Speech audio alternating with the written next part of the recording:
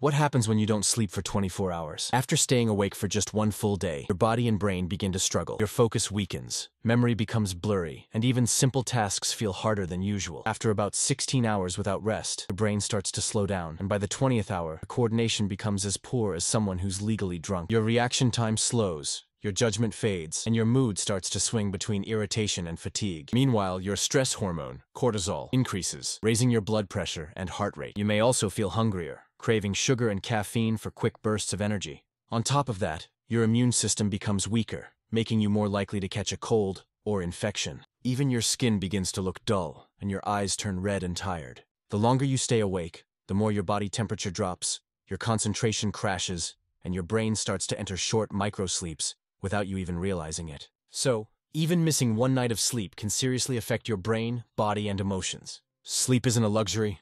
It's a necessity your body can't function without.